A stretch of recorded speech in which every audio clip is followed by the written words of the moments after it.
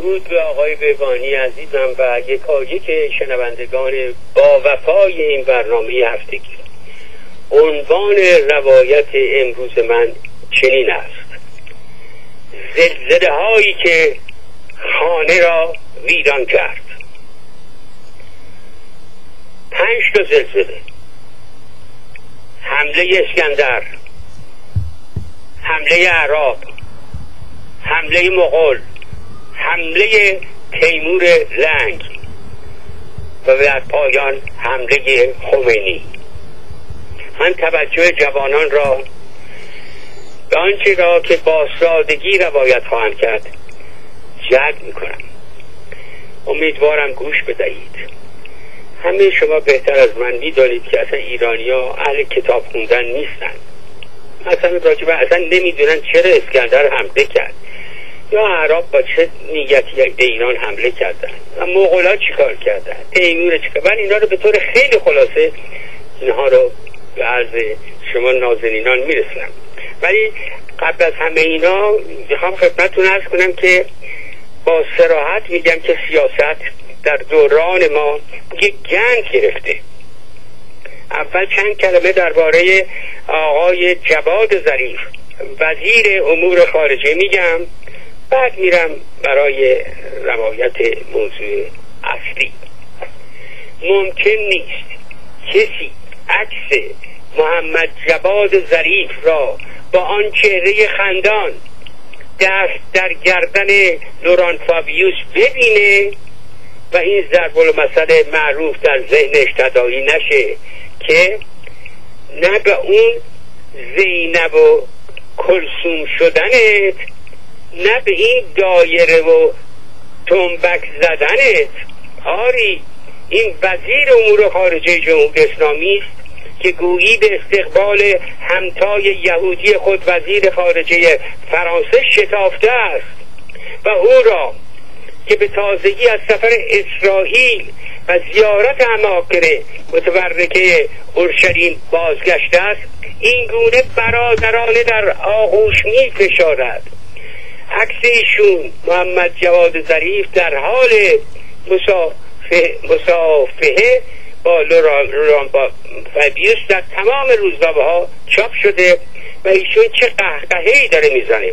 این عکس چاپ شده و اکثر مردم هم آن را دیدم ببینید در فاصله چند هفته ناگهان صحنه عوض شده است.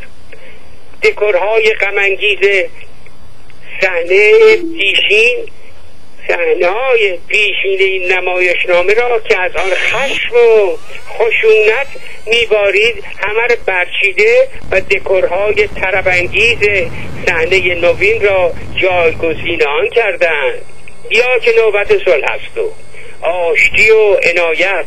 به شرط که نگوییم از گذشته حکایت. همزمان فرد از مذاکرات پنهان واشنگتن و تهران به کنار رفت. این مذاکرات در حاشیه گفتگوهای گروه پنج به علاوه که آمریکا انگلستان روسیه چین فرانسه به اضافه آلمان در کنفرانس ژنو با هدف آماده ساختن زمینه برای توافق و الغای بخشی از تحریم های بین المللی در قبال انعطاف هسته ایران آغاز شده بود. و افشایان حکایت از پایان مناقشات سی و چند ساله نظام ولایی با شیطان بزرگ دارد. رویدادی که تا همین اواخر باور کردنی به نظر نمی رسید در هر حال همونطور که عرض کردم سیاست امروز با سیاست دیروز خیلی فرق داره شنوندگان عزیزم توجه کنید. ببینید آقای غلام حسین قیب پرور. آخ شما رو به خدایی نمی‌شد فامی یا حتی هیئتی که الان تحت از با اتفاق آقای ظریف دارن مذاکره می‌کنن یکیشون عباس عراقچیه. یکی دیگه هم اسمشون تخت روانچی آخه اینا اینا اینا اصلا اس این اسما رو والا هیچ کس در قدیم نشنیده. فرق داره با کاری که روانشاد خلعت بری این وزیر خارجه به یک ماجرای 500 ساله اختلاف ایران و عراق خاتمه داد. یک ساعت نیم هم طول کشید. با صدام رفت صحبت کرد. قراردادی امضا کرد که این بین النهرینی که اونا شدن اروند رو از خط وسطش متعلق به نصفش مال عراق نصفش مال ایران بشه. حالا اینا ببینید چند وقته دارن این پای تخت این پای تخت در هتل های خیلی لوکس گران قیمت از اینا پذیره می‌کنن. هیچی. هنوزم معلوم نیست که چه می‌شود. حالا شما گوش کنید من ازم ببینید این آقای غلام خالق پرور که فرمانده سپاه استان فارس هست چی چی داره میگه؟ به خدا آدم شاخ در میاره. ایشون میگه بازرسان مرکز نظامی. اگر بیایند بخواهند بازرسی کنند اول من بازداشتشون می‌کنم.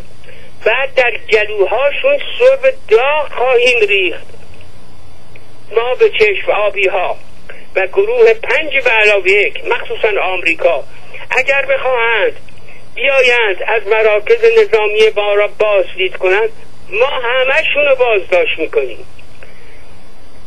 اونا غلط کردند که خواستار بازرسی از مراکز نظامی ما شدند ای عجب که در دوران ما سیاست چه بوی گندی میده.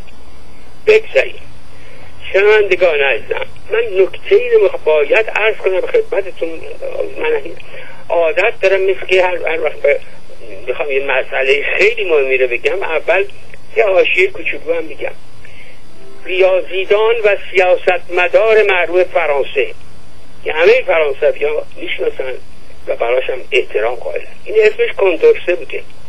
این عضو آکادمی علوم آن کشور که در زمان کنوانسیون عضو مجلس قانونگذاری بود عقیده داشت برای ترقی مادی و معنوی جامعه باید سیستم آموزش و پرورش بر مبنای عقل و خرد پایگذاری بشه.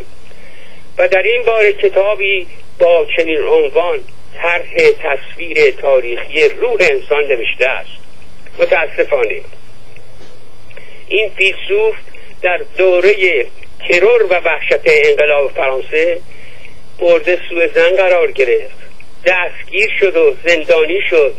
اما قبل از اینکه سرش با گیوتین وحشت و ترور از تنش جدا شود در اوج بلوغ فکری و علمی در سن پنجا و یک سالگی در زندان خودش را کشت.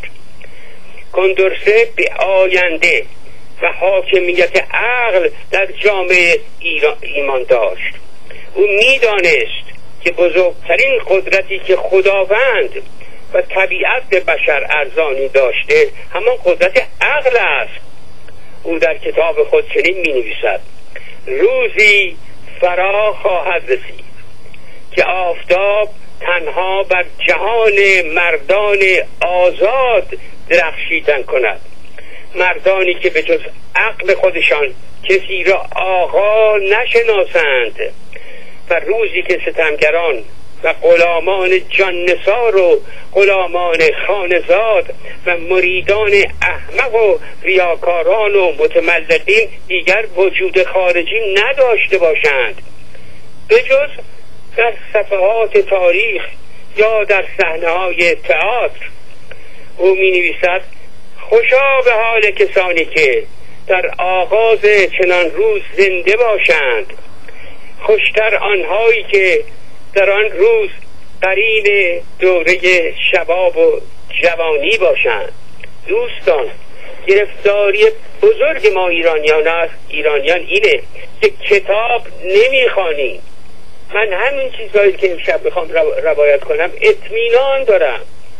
صدی نود مردم فقط همین شنیدن حمله عراق دیگه ابتدایی ندارن آخه چطور شده. در هر حال من حتی یک بارم گفتم ما به تاریخ پر افتخار خودمان می نازیم واقعا افتخار می‌کنیم. داریوش کوروش مولانا ابن سینا زکریای رازی. خشایارشا رستم را دوست داریم اما یک کلام درباره آنها نمی‌دانیم. طبق آمارهای منتشر شده مردم ایران هر سال فقط و فقط تنها یک ساعت کتاب می‌خوانند. اما گوش کنید در همه عرصه های علمی فلسفی اقتصادی تاریخی سیاسی نه تنها استاد بلکه فیلسوف شدند.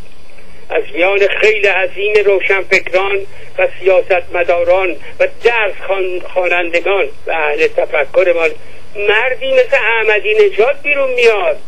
بر کرسی ریاست جمهوری می نشیند و مردم ایران را خار و خاشاک می نامد افسوس. و صد افسوس. واقعا ما باید قبول کنیم. یک کشوری کشور عجیب غریبی داریم. هیچ آدمی زاده در جایگاه واقعی خودش قرار نداره. شریک های فدایی خلقش که برای مرکس و لنین سینه می زدند اغلبشان فرزندان آیت الله ها بودند.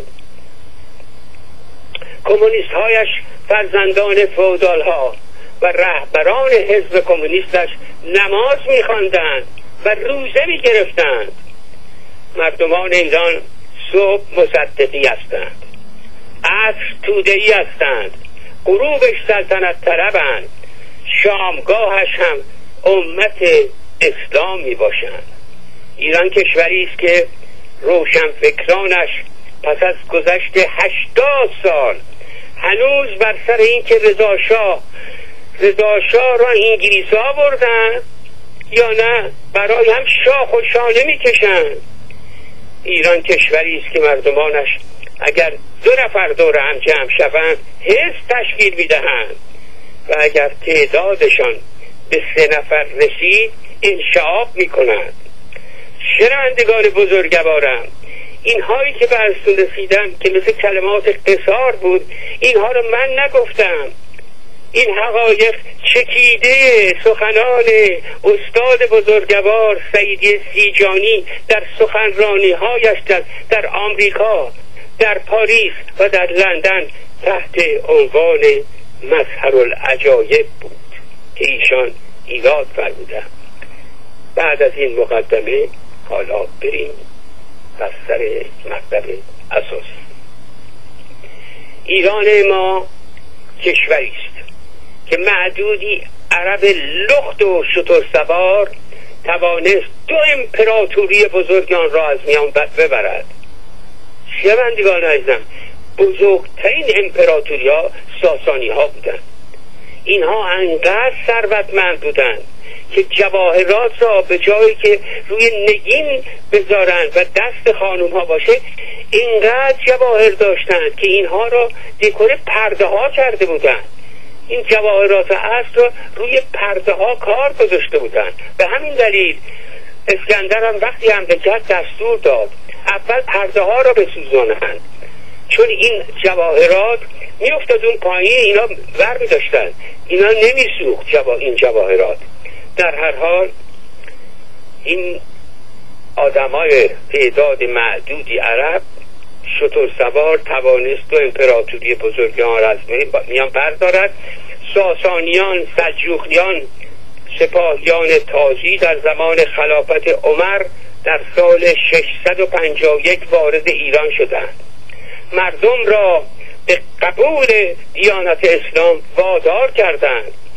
ایرانیان از آن پس در جرگه ملل مسلمان در آمدند در تاریخ عنوان شده است که سی هزار مغول کوتاه در سال 617 هجری قمری تنها در نیشابور یک میلیون نفر را کشتند.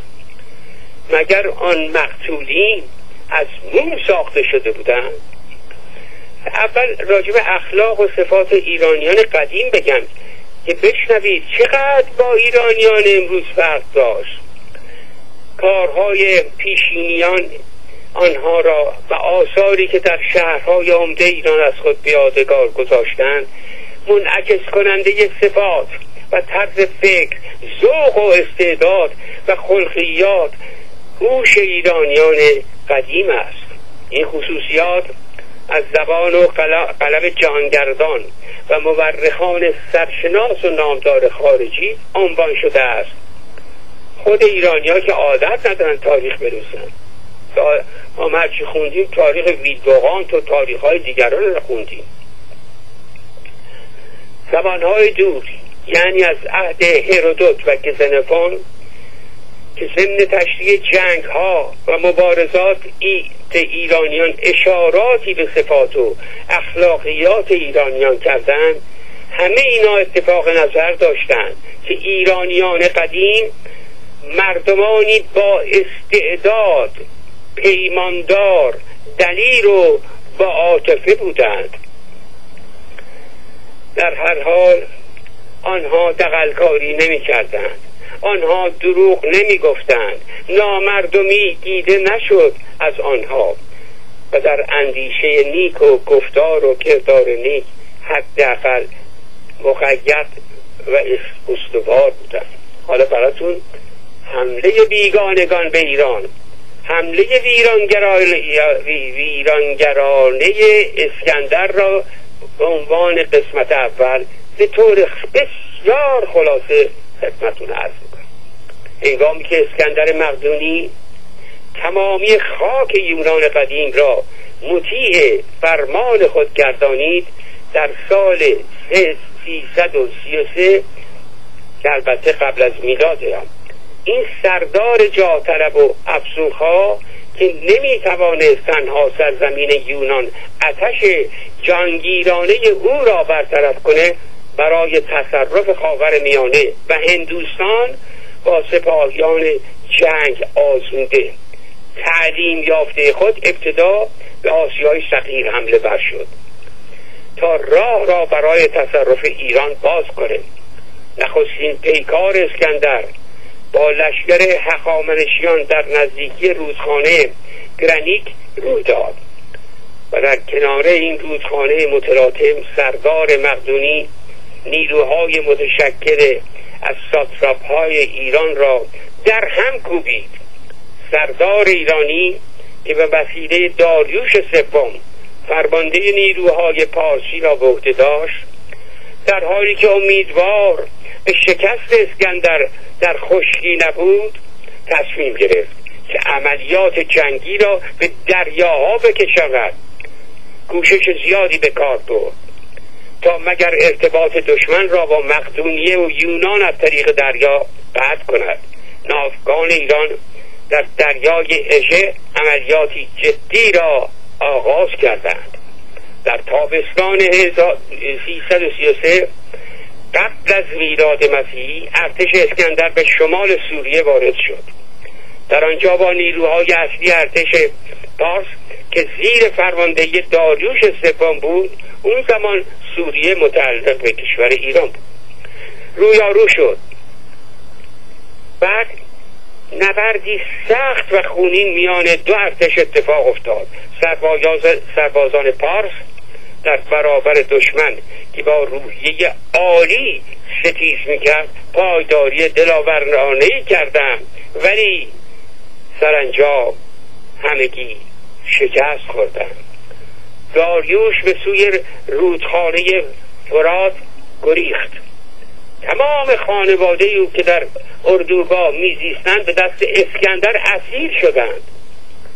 اسکندر علا رقم تماس و تکاپوهای داریوش که مشغول سازمان دادن به ارتش از هم گسیختش بود.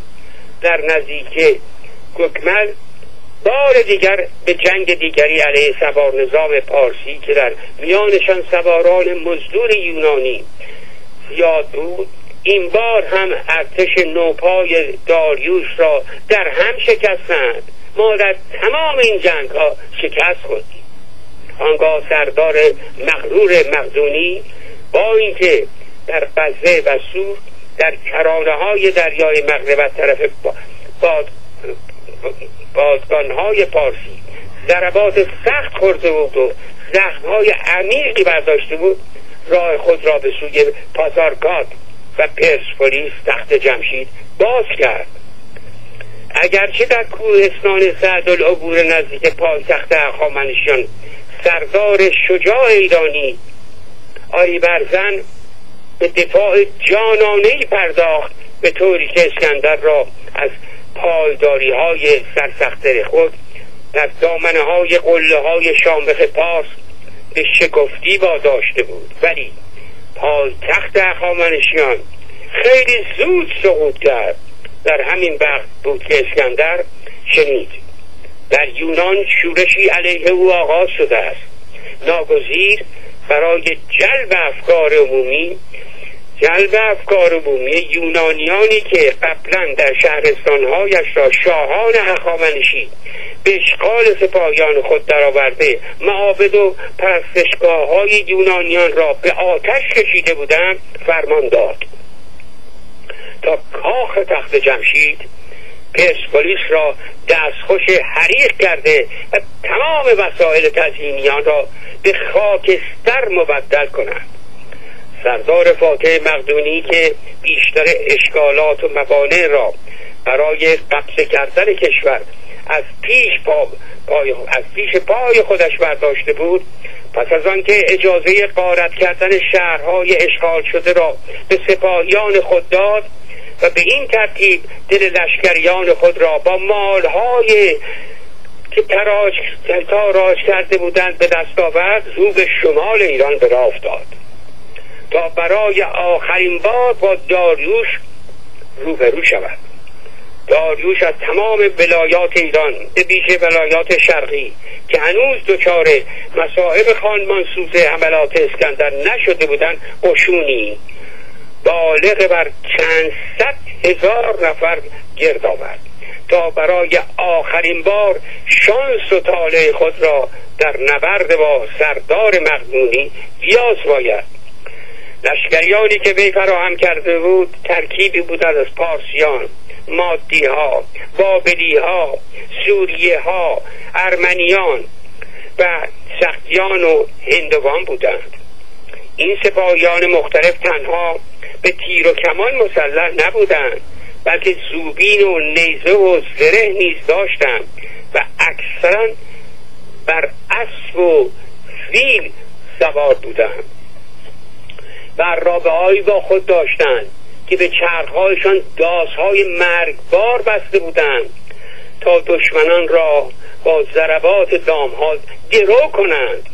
اسکندر با این ارتش این ارتش ناهمرنگ که می‌توان گفت کمتر سازمان یافته بود از فرماندهی مشترک فرمان میشنیدند و مقابله کرد و پیکار سخت و خونینی بین طرفین در گرفت که برتری سلاحات و جنگ افزارهای مقدونی ها مخصوصا فرماندهی صحیح آن شیرازه سپاهیان داریوش, نگو داریوش نگونبخت را از هم گسیخت. و شکستی سخت بر آنان وارد کرد. داریوش که همچنان به فکر شکست دشمن و باز پس گرفتن سرزمین های ایران از خصم بی امان بود بار دیگر در صدد ترک صحنه کارزار و جمع آوری نیروهای تازه نفس بود. ولی بلند پایگان و فرماندهان ارتش متلاشی شده به رهبری ساتراپ دسیسه هایی کردند. آنها ابتدا داروش را بازداشت کردند زندانی کردند و سپس وی را به قتل بساندند اما اسکندر مقدونی دستور داد تا قاتلان داریوش را به چنگ بیاورند به جرم کشتن ناجوان مردانه ولی, ولی نعمتشان همه را به هلاکت برسانند. آنگاه نعش داریوش را با احترام هرچه تمامتر به تخت جمشید فرستاد تا در آنجا به خاک سپرده شود. با این کیفیت سرزمین ایران اشغال نیروهای ویرانگر اسکندر در آمده و مدت هشتاد سال این کشور تحت تسلط جانشینان سردار مقدونی یعنی سلوکی ها قرار گرفته حالا درسی از تاریخ خدمتون عرض می‌کنم. بر پایه نوشته که من در کتاب طبقات الاطبا و حکما خواندم هنگامی که اسکندر مقدونی بر کشور ایران استیلا یافت نامه ای به استاد مرشد خود عرستو نوشت و اظهار داشت. ای استاد بزرگ من در الان من بر سرزمین پارس پیروز شدم. ولی استاد بزرگ گوش کن. من در این کشور مردانی می‌بینم بس خردمند و مرا بیم آن است که آنها به به کینخواهی برخیزند و قدرت مرا در هم نوردند. از این رو بر آنم. که همه آن خردمندان را بکشم و دل از بیم آنها آسوده کنم.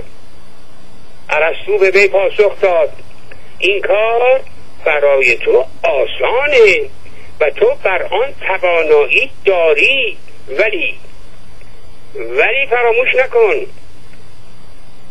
آنچه از تو ساخته نیست کشتن و نابود کردن سرزمینی است که چنین مردانی به بار می آورد و آنها را در دامان خود می پروراند تو اگر افراد را نابود کنی سرزمین ایران آنها را دوباره به ایجاد و پرورششان پرورششان خواهد پرداخت. پس من به تو توصیه می کنم چاره تو در آن است که نسبت به افراد نکویی کنی و با دوستی با آنها فرمان برانی. شنوندگان نازنازم اون مردان حالا کجایند؟ دیدید چقدر چهار بار پادشاه شکست خود باز دست بر نداشت تو سوم شهریور رضاشاه گریه می‌کرد. که ورتشیره که با خون جگر درست کردن. این فرماندهان در سربازخونا رو باز کردن. گفتن نه با بیطرفیم. و سرباز حال چیکار ارتش اینا رو که بعد از رضاشاه گرفت تمامشون کتک زد. همونطور که من در برنامه قبل گفتم پاگوناشون کم. تمام نشان هایی که به سینشون بعد بردن برداشت با این شلاقش اینقدر به صورت اینا زد که تمام تمام لباس اینا خونی بود. بعدم به محافظ خب یدالله برو هفتیر من برو ده تیر منو بیار. یدالله خانم گفت وای وای اگه من اونو بیارم این ده نفر رو وزیر جنگ و رئیس ستاد و تمام ایشون خواهد کشت دیگه. میره دم گاراژ وای میسه دیگه نمیاره اونو برای رضا. انسان اینا رو خونین و مالین می‌کنه که دست خودشم درد می‌گیره. تو جلسه هیئت دولت بسته بوده. بعدم گفت رگ به رگ شده. یه حرکت حرکت این اینقدر کشیده به اینا بود. دیگه دست راستش داشت چیز می‌شد کرد در هر حال من این موضوع خدمتتون از حالا من میرم روی قسمت دوم. آمدن سپاهیان اسلام به سرزمین ایران. اونم همینطور خلاصه خواهم کرد. هیچ چیز نباشید نگران نباشید. در نیمه اول قرن هفتم این که از لحاظ جهان آن روز اهمیت فراوانی داشت. دگرگونی عمیقی را در سرنوشت کشورهای خاور میانه سپس آن سوی آفریقا و اروپا پدید آورد. به ظهور رسید این رویداد با پیدایش دیانت مبین اسلام سپس پیدایش حکومت خلفای مسلمان آغاز کردید در سال 630 با ظهور دین اسلام در شبه جزیره عربستان و اتحاد قبایل عرب نهضتی شروع شد که در سراسر آسیای میانه و شمال آفریقا قسمتی از جنوب باختری اروپا را فرا گرفت. به دنبال فتح قلمرو دولت روم بیزانس سوریه مصر شمال آفریقا سپاهیان تازی زمان خلافت عمر دومین خلیفه راشدین به ایران وارد شدند این رویداد در سال 633 651 انجام گرفت که پیامدهای آن نه تنها در زمینه های سیاسی اداری اجتماعی تأثیرات عمیقی داشت بلکه در زمینه ایمان و اعتقادات مذهبی و ایدئولوژی و فرهنگ مردم ایران نیز اثر کرد. تصرف سرزمین های ایران به وسیله تازیان جز چند پیکار که در قادسیه و نهاوند اتفاق افتاد که خیلی هم جزئی بود و سپاهیان ایران و سردارانشان در خلال آنها رشادت ها از خود نشان دادن به آسانی انجام گرفت. و علت هم ابتدا ناتوانی و ضعف بی اندازه کشور در اثر جنگ طولانی با روم شرقی بیزانس و افزایش بیحد تضاد و امتیازات طبقاتی جامعه های ایرانی بالاخره ظلم و جور بیحد حکام و سردمداران دولت های ساسانی و تحمیل مالیات های سنگین فشار از یک طرف و از سوی دیگر انگیزه کامیابی های سریع جنگی تازیان ایمان به هدف مقدس مقاصدی که دنبال می‌کردند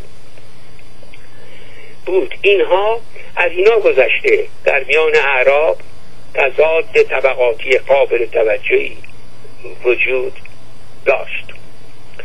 حالا خدمتون عرض می‌کنم که ببینید باز من در همون کتابی که عرض کردم از الان براتون نامیر که عمر ابن خطاب خلیفه مسلمین به یزدگرد سوم شاهنشاه پارس نوشته براتون بسیار خلاصه روایت می‌کنه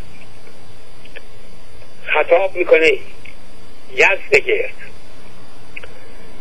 من برای تو آینده روشنی نمی‌بینم. مگر اینکه پیشنهادی که می‌کنم بپذیری. با من بیعت کنی. تو سابقا به نصف جهان حکم میراندی. ولی اکنون که سپاهیان تو در خطوط مقدم شکست خورده اند و ملت تو در حال فروپاشی است من به تو راهی را پیشنهاد می‌کنم. تا جانت را نشان نجات دهی. شروع کن به پرستش خداوند یکتا. پرستیدن خدای عدالت خدای یکتا از همه چیز لازم تر است. ما برای تو و تمام جهان اسلام او را آورده ایم. او خدای راستین است. از پرستش آتش دست بردار. به ملت خود فرمان بده که آنها نیز از پرستش آتش که خطاست دست بکشند. بیایید به ما بپیوندید. الله اکبر را پرستش کن که صدای راستین است. خالق جهان است در هر حال. من به تو اختار می‌کنم که اسلام را باید بپذیرید. به راه کفر آمیز خودت پایان بده و اسلام بیاور. الله اکبر را منجی خودت بدان. با این کار زندگی خودت را نجات بده و مملکت پارسیان را نجات بده.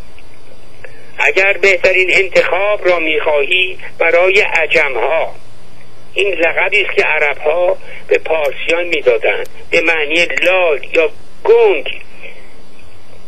کسی که لکنت زبان داره. اینو بهش گفتن عجمی.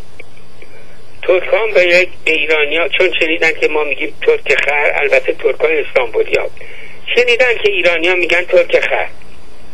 و اونها حالا چیکار می‌کنن؟ می‌خوان بگن یه آدمی عقب افتاده یک آدمی که بی سواده یه آدم بی شعوره یه آدم چاخانه. میگن عجمی بیر عجمی آبدن یعنی کار احمقانه کردی.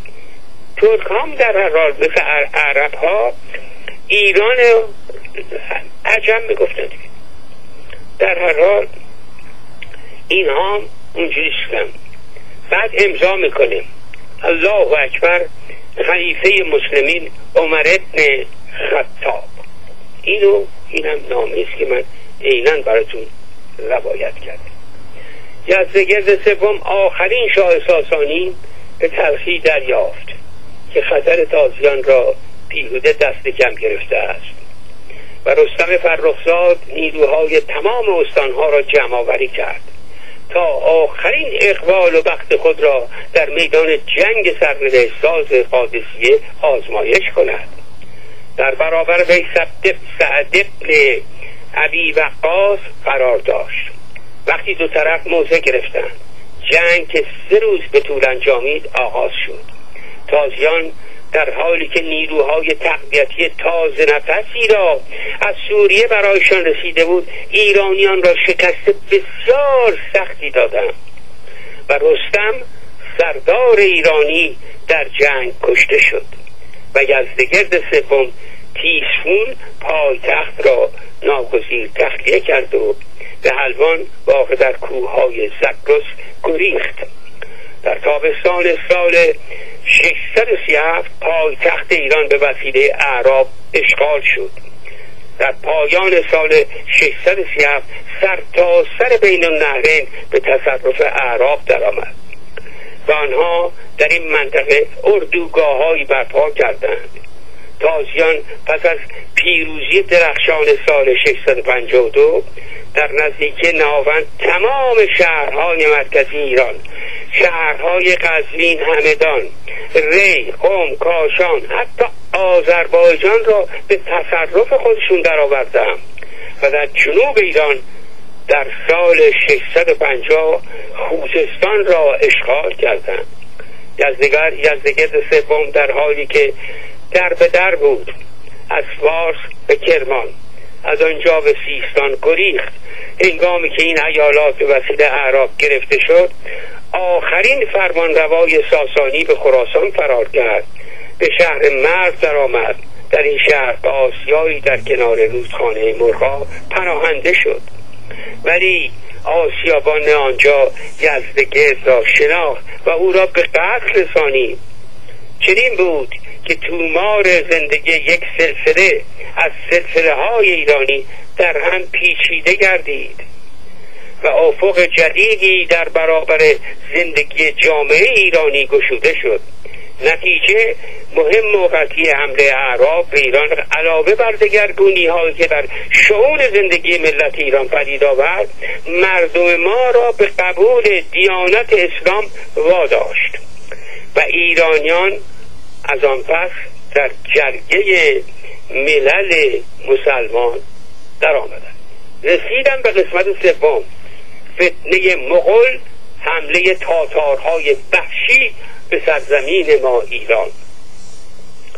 وقتی چنگیز خان به دنبال تصویر کشور پهناور چین امپراتوری عظیم مغل را تشکیل داد سپاهیان لجام گسیخته او همچون طوفان آن هم طوفان محیبی در سراسر کشورهای خاور میانه تا آن سوی استپهای روسیه به حرکت در آمدند قیامت ها دگرگونی های مهمی در سراسر منطقه بزرگ از ما برا نه گرفته تا آسیای صغیر پدید آمد. یکی از کشورهایی که صدمات و مصائب سخت و خورد کننده از سپاهیان تاتار و مغولان تحمل کرد. تقریبا نیمه ویران گردید سرزمین ایران بود. که قلم رو مصرفاتش به مرزهای مغولان رسید در زمانی که چنگیز خان با لشکر لشکر بزرگش در شمال شرقی ایران تاخت و ایران در زیر فرمان دولت خار از شاهی قرار داشت. و اگر که این دولت تقریبا از یک اقتدار و نیرومندی بهره من بود و در خاور میانه قدرتی عظیم به حساب می آمد ولی متاسفانه گردانندگان این دولت از حسن تدبیر و معالندیشی و دیاقت و روشنبینی بی نصیب بودند. رانان بلند پایگان و نظامی ها در امور یکدیگر مداخله می کردن.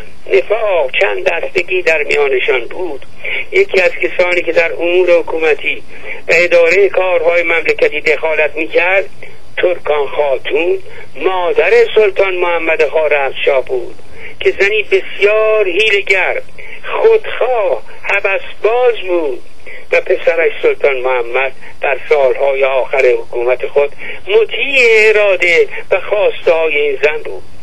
چنگیز خان که در ابتدای کار یعنی حمله به ایران از قدرت آن وحشت داشت تصمیم گرفت که با سلطان محمد به وسیله فرستادن سفیرانی چند ارتباط برقرار نمود و به همین نیت سه نفر از بازرگانان مسلمان خود را با مقدار هدایا بر هدایا بسیار نفیس بود. نزد سلطان محمد میفرسته.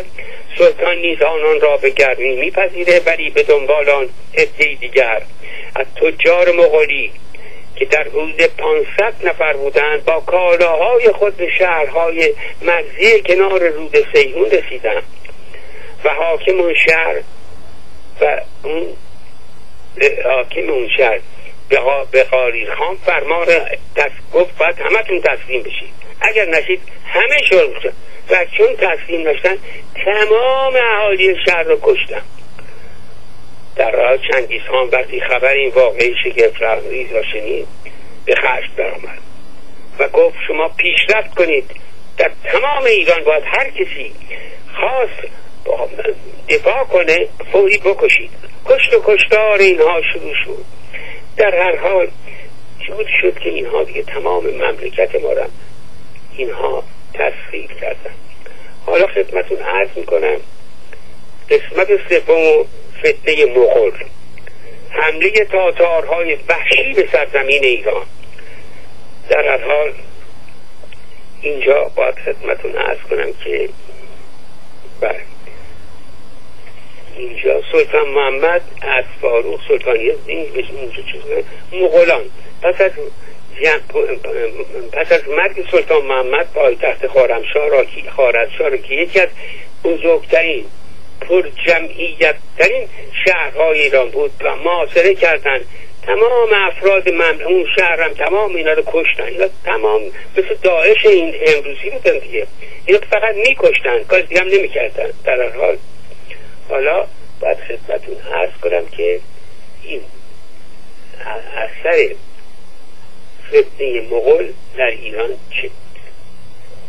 ساعت کنم. خب خوشبختانه وقت است من درسیدم نخستین اثر سریع حمله حمله ویرانگرانه خانمانسوز مغول که هیچگاه تاریخ ندیدان را ثبت نکرده ویرانی نابودی تمام شهرها و انهدام آثار تمدن و فرهنگ جامعه و از میان رفتن کانونهای صنعت بازرگانی مراکز علم و فرهنگ و ادب بود.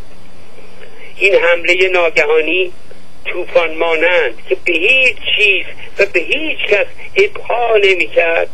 آنچه را که مردم خراسان و سایر نقاط ایران در سایه کار و سخت کوشی در مدت پنج قرن فراهم کرده بودند یک باره برباد داد و چون در آغاز حمله مهمترین آبادترین شهرهای ایران در خراسان و ماورا نه و ایران شمالی مورد تعجب یک قوم وحشی و خونخوار قرار گرفت. این نواحی به کلی در آتش خشم و کینتوزی مغولان سوخت.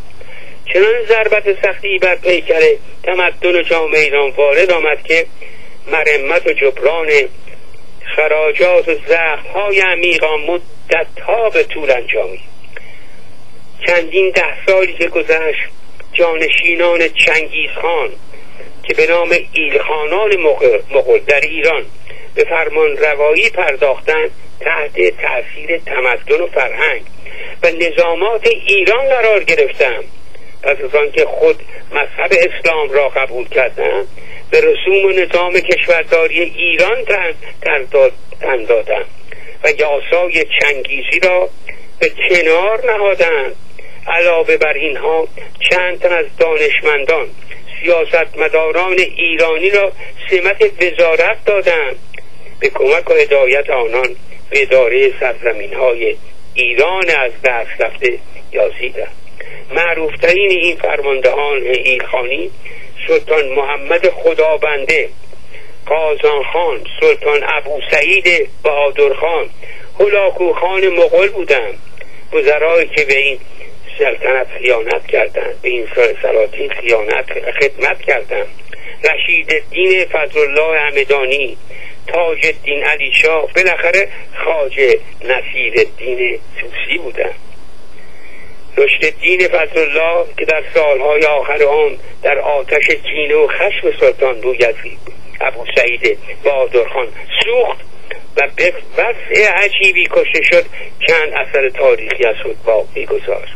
و خاج نصیر توسی هم علاوه بر تعلیفاتی که در باب سیاست و اخلاق نوشت رسدخانه مراغه را که یک بنای تاریخی قلمداد می شود برای هلاکو خان ایجاد کرد. در هر حال قسمت پنجم حمله خمینی. در سال 1357 دوران پادشاهی 2500 ساله و مشروطیت که حکومتی ملی بود را خمینی برچید و یک نوع سیستم جدید حکومت به نام جمهوری اسلامی برپا کرد که نه جمهوری است نه اسلامی. از آنجا که از قدیم گفتند چیزی که عیان است چه حاجت به بیان است. در حال شور انقلابی در سال 1357 چنان جامعه ایران را در بر گرفته بود که چیزی جز شعارهای شورانگیز به دلها نمی نشست و هر نوع تردید نسبت به عاقبت کار حتی به زبان ملایم و از سر خیرخواهی و معالندیشی با واکنشی سرد یا سخت سخت شیفتگان انقلاب روبرو می شود آن روز عقیده داشتم. و همچنان بر این عقیدم استوارم. که فرصت کم نظیری برای دست یافتن به آنچه در طول یک قرن آرزوی اصلاح طلبان و آزادی خواهان ایران بوده است به دست آمده است. و این فرصت را برای تجدید بنای نظام حکومتی به خصوص در بالاترین سطوح آن باید مختنم شمرده و جامعه روشنفکری ایران متاسفانه نقشی را که میباد می‌توانست در بازسازی بنای سیاست و مدیریت کشور به نحو معقول ایفا کند از یاد برده و در مسیر تفکرات مشروع خواهی افتاده بودند به همین جهت هیچ نقدی را در باب انقلاب اسلامی و پیامدهای احتمالیان بر نمیتافت. و این آخرین زلزله زلزله بود که ایران را به گرداب مصیبت نشان و ایران را ویران کرد. کمال تاسف اینجاست که این زلزله پایه های خارجی نداشت. اگرچه یک تهاجم و یورش خارجی نیست ولی ریشه هایی در تفاهم فکری خارجی دارد و دنبال همان سلسله است که به تفصیل من اشاره کردم. شنوندگان نازنینم من قضاوت را به عقل سلیم شما شنوندگان که همگی از فهم و شعور بالایی برخوردار هستید واگذار می کنم از صبر و شکیبای شما عزیزان سپاس گذارم تا هفته آینده و روایتی دیگر. روز و روزگارتان خوش.